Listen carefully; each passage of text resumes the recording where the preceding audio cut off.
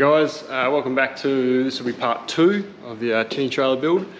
Um, had chucked up part one last week, uh, had to shoot back up north, so I've managed to come back down again now. It's a bit more progress on, on the old boat in the background. Um, so yeah, we'll try and finish that bloody tinny trailer off this time. Get all finished, knocked up. I think last time I left you, I had wheels on, base frame was done, just sort of sorted out that gooseneck uh, and the hitch and then we sort of left it at that. We ran out of time, episode was getting pretty long. So uh, now I've got to finish the, the top frame part that the, the runners are going to go on, like the blue sort of plastic polyethylene sort of blocks. I bought the tinny down from up north this time so I can just test fit it all up. So do all that frame and then a couple of braces and just sort of a bit of uh, cosmetic stuff.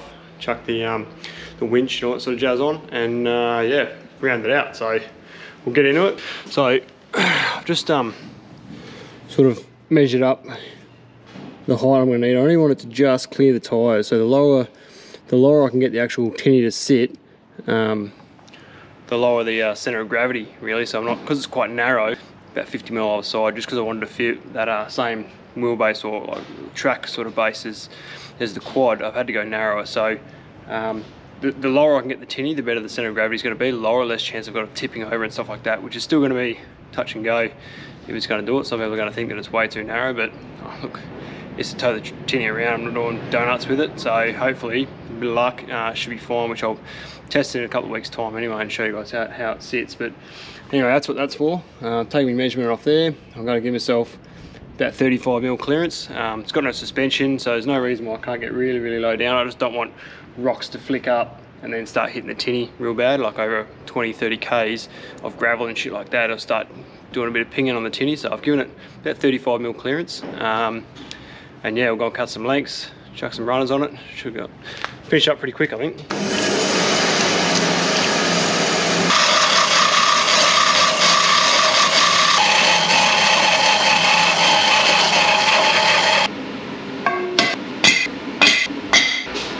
Right, yeah, so we've got a few lengths cut out. Smack them up on the bandsaw. Just gonna tack up uh, pretty much the rails now that the, um, the tinny's gonna sit on.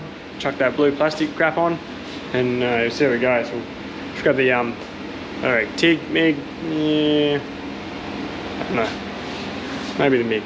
So I asked the cousin, got any earplugs down there, mate? Do I need to bring any? No, no, I've got everything, mate. No dramas, no earplugs. So paper towel. That's where it's at. You got to get it done.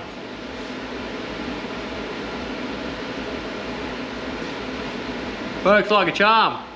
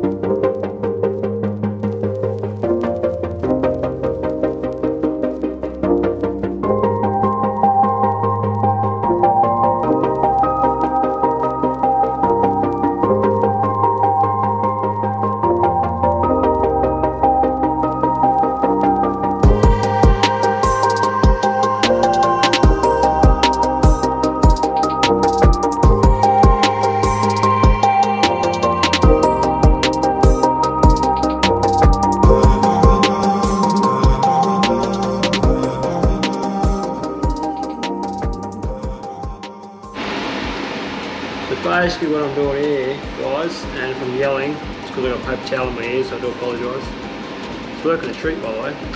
Um, I'm just sort of mucking around with some angles to get, this is pretty much going to be where the tinny comes on, so I'd say the approach angle for the tinny on the trailer, when you sort of bring it in to put it back on the trailer.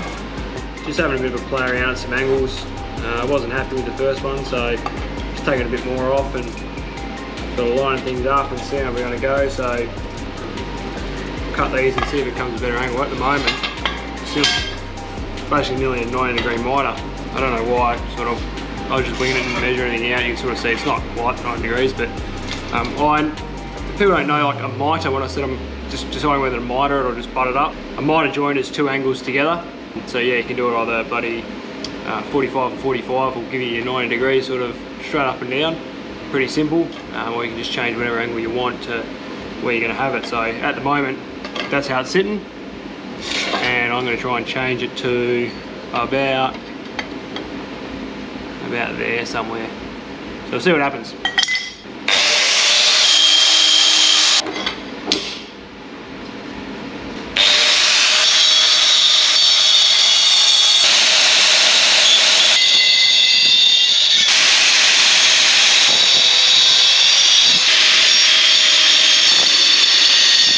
Right, so see how we went with that. You see what it was before.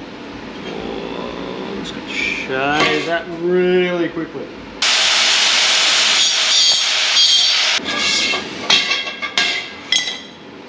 Right. So, best thing about a milling disc, guys, you can use one and touch everything straight away. It's gold. Right, so that's our angle now.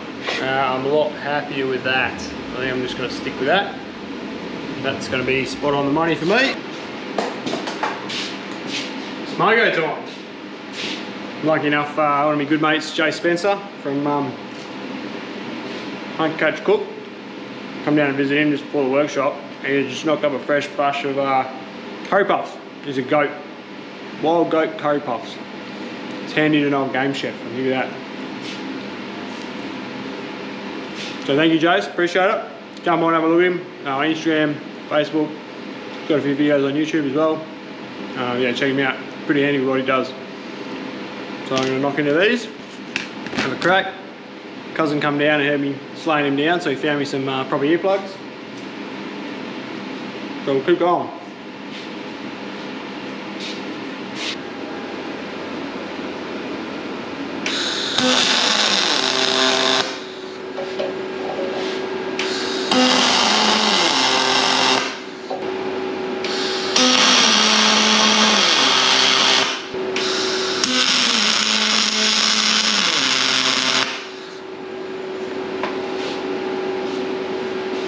Oh. Yeah. These bloody helmets are good. Well, if anyone, if anyone doesn't know what they are, Adflo. Whole idea of them, because obviously Golden Alley, toxic fumes, suck air from behind you, nice fresh air from behind you, and pump it into your helmet. But you've been on goat curry puffs all day, the air from behind you isn't so fresh anymore, and sometimes you forget. And uh, yeah, I'll let you think about that for a second. Damn.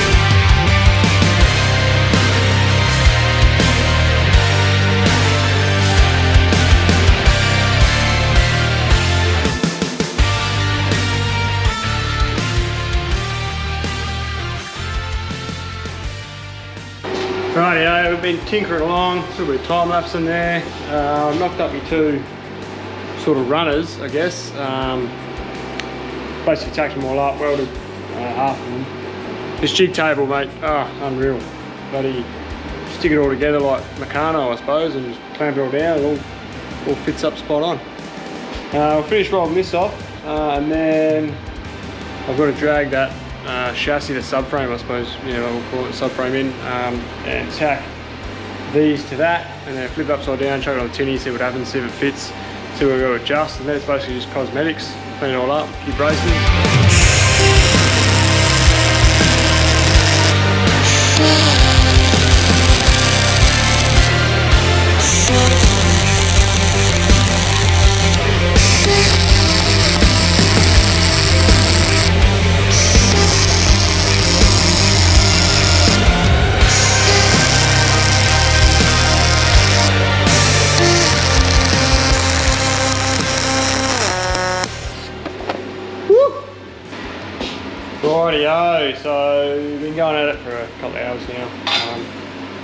few welds down. Uh, basically, uh, this isn't for strength, it's just because I stuffed up. Uh, that should have been there, so then I could have another one there. Now I'm going to have one there and one there because I'm just not going to move it. Why not? Uh, aluminium weighs nothing, so why not leave it there for a bit of extra strength? Uh, I'm just going to knock up a few braces now in between these ones. Um, right at the front here. So we'll smack them out, uh, miter them, 45 them, uh, zip, zip, zip, zip, zip. And basically I'm going to be chucking it all on. So just about there. I'll, I won't record too much of it because it'll just bore the shit out of you.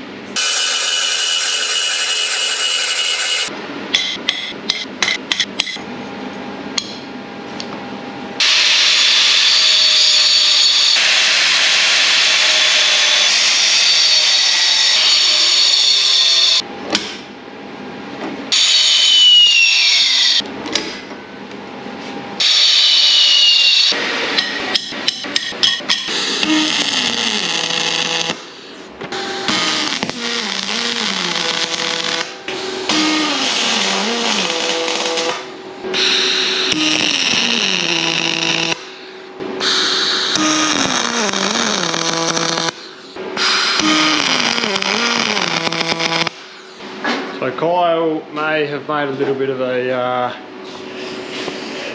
boo-boo.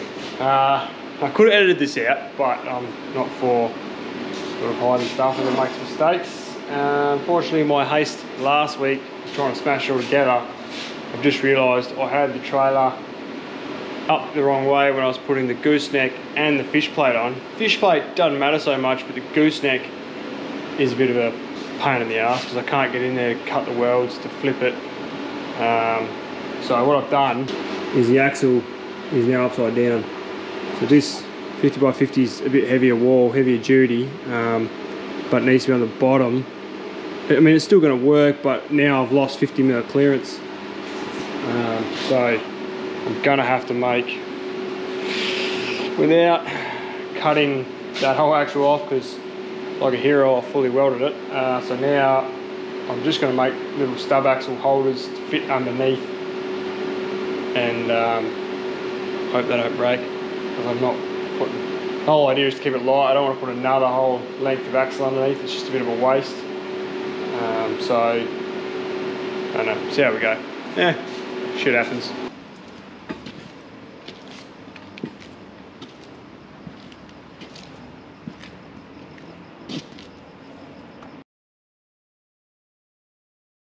You know, it's not a great start to the day when your first tool you pull out is a uh, grinder with a milling disc. I swear this doesn't happen all the time. Time to fix up Kyle's stuff ups. So, this will be new axles, little stub axle holders. So that way it'll be a bit of a gap in between uh, where they're mounted on, just give me more clearance again. So it's not the end of the world, it's actually going to work out uh, maybe a little bit better in some opinions. Um, so now I'm just going to drill them out and yeah, I've got one on the drama. Got a little bit of slop on my stub axle because I didn't have any 5mm wall thickness uh, 50 by 50. So what I'm going to do, I'm just going to get a couple of stainless steel, couple of stainless steel uh, M12 washers, chuck one here and just tig them around on either side. Alright, and that's actually going to fit and just on the outside as well, it's going to then fit nice and snug. And what it's also going to help me do is if the axle gets crammed full of shit, dust and red dirt and pindan dirt and all that sort of stuff, which is where you know where I'm from, it's actually going to make a bit of a gap that you can chuck a hose in there or whatever and wash it out and the axle will come out a lot easier than if it's a tight fit and it's been in there for you know months and months or years and bolted up. So that'll actually work in my favour It's still be solid strong.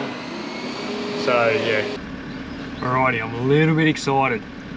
People who live remote are going to get why I'm excited big country towns aren't going to get it but little country towns you're definitely going to get it alright who knows what that sign is? I'm at Bunnings. Yes we don't have a Bunnings where I'm from. So this is so good to get down. I was really well behaved. So the missus is going to look at the bank statement and she's going to praise me for how good I was. Just got knots and bolts and uh, you know just the, the, shit that I need but oh, I'm so right yeah this is what I was talking about. Um, just went out of Bunnings. As you saw I was pretty excited about it. And pick up either M12 stainless steel washers. Stainless obviously axles are dropping in the water over and over and once they're in there sort of don't really want to muck around with maintenance on them so um, however welding stainless to mild steel uh, when you're tigging it it is going to take away a lot of those properties of the stainless sort of thing so you, you do get corrosion on your weld still uh, but it'll be better than nothing. So your idea being because we have that slop in that axle. Once I chuck a couple of washers on either side or all four sides and then slide over top and I'll just I'll probably have to they are a little bit too fat so I'll have to sand them back a little bit just with a grinder but um, we'll get that nice tight fit. Run a little TIG bead around there and she should be Mickey Mouse. Solves the problem cheap. It's only a you know a hack trailer so who cares uh, yeah so I'll do that now so I thought I'd just quickly show everyone who hasn't done um, TIG before the difference between the alley TIG and the um, stainless. So you got AC and DC, alternating current and direct current. Cousin being a Wally. Thanks man! So um, basically, I mean you can see for one the colour difference. Look at that little oilies, all the oily colours coming through. Um, the alley's a lot louder, I like stainless better just because it's quiet, you got without it plugged in, I've got plugged in.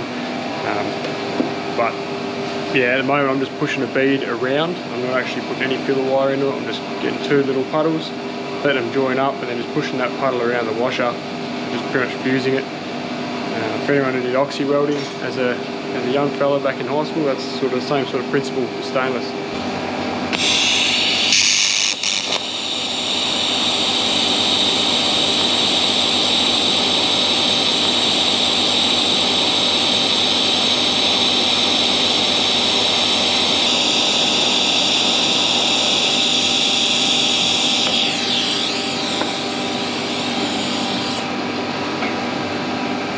There we go. I didn't really have to go the whole way around. Uh, if I didn't want to, I just did it because I actually enjoy doing it carried away. So I'm just going to tack the sides of them. Is that? Oh, no, we're good. Coming. So hi to the man who owns the workshop. Thanks, bro. Hey, bro. Portuguese chicken. Portuguese chicken, let's give him a go. Lemon and oregano. Not bad.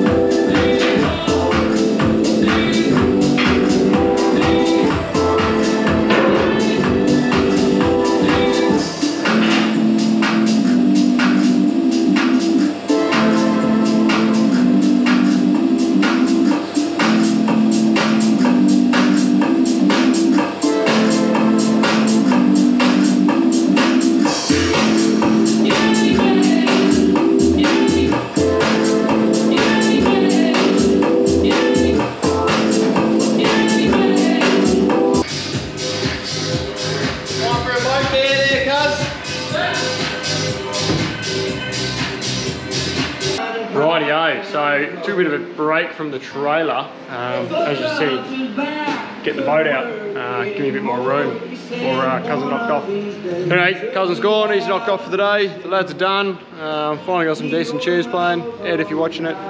Sorry mate, tunes are shit. Uh, yeah. So now I can finish off a little bit of stuff to the quad as well. Um, basically, while the camera was off, uh, all I did was fix up my little stuff up. So got little stub axle holders while we're on. Um, basically, it's just going to increase my clearance by about 100 mil extra. So we'll see how it goes later on tonight. I'll stick it all back together. I've been flat out all day. I haven't had a chance to bloody have lunch, sit down do anything, just trying to get this bloody thing finished, you know, just really working under a lot of time constraints. So really, um, as much as I enjoy it, it's just a bit of a chore. So I have to keep going. Um, yeah, just yeah, flat out, eh? it's ridiculous. It's sort of hard, you know, you just want to enjoy your time doing it, but when you got bloody time constraints and you just, yeah, flat chap, eh? Nah, I'm to do it tomorrow. Plenty of time, don't worry about it. Yeah, so strap for time. Just, yeah, not, never, not enough hours in a day, you know.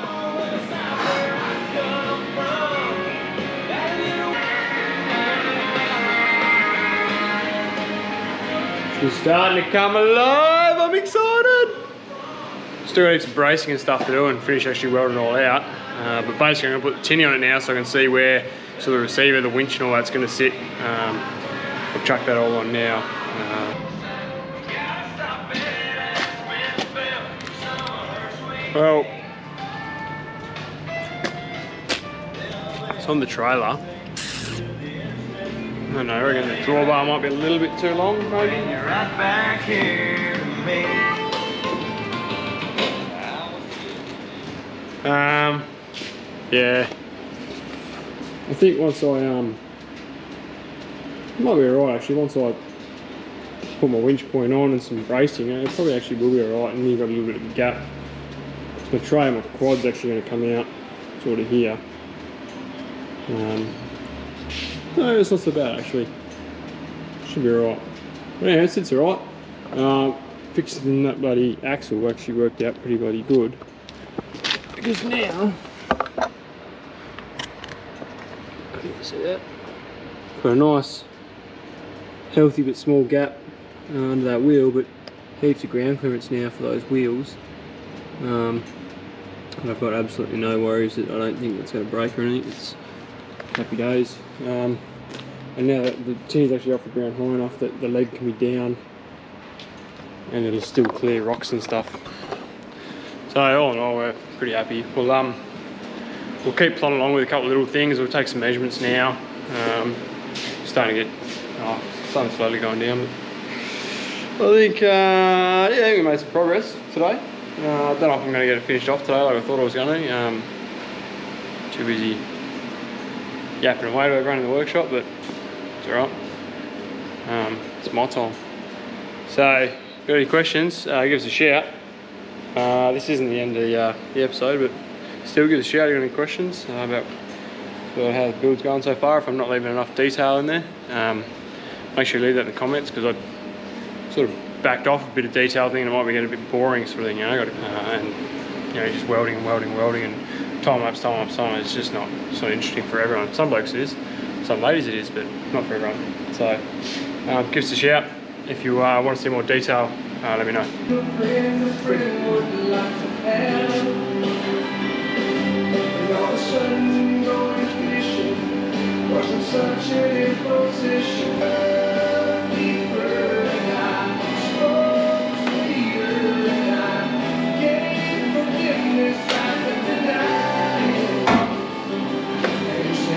That doesn't count because I didn't pull the trigger. But I didn't have, did it It's not going to work. But all you welders, I didn't pull the trigger. This will be average, but it'll work.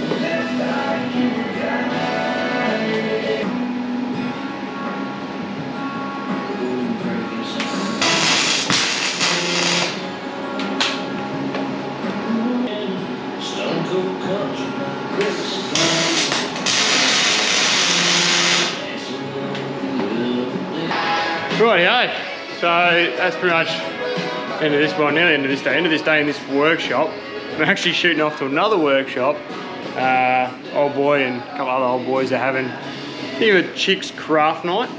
These old boys they have their little shed night, So they, get their little pot plant holder they've been wanting to make for ages and they shoot over to sort of a shed that you know, part of the family and uh, pretty much like this but just a smaller version in the backyard and they all make their little trinkets. It's, pretty cool. Old boys. Anyway, I'm gonna head over there and hang out with the old boys for a bit uh, and I'm gonna tig up. I just knocked up, I didn't show it, but I just knocked up pretty much the um, front of the drawbar. I'll go through it all so everyone can sort of see it, even though I didn't sort of build it in front of the camera, but um, I'll explain it. I'm, I'm gonna tig all that up, so hence why I'm going to the other workshop. Hopefully this episode isn't getting too long. If it is, I'm gonna break it into another part, so there'll be three parts instead of two. All right, stay tuned.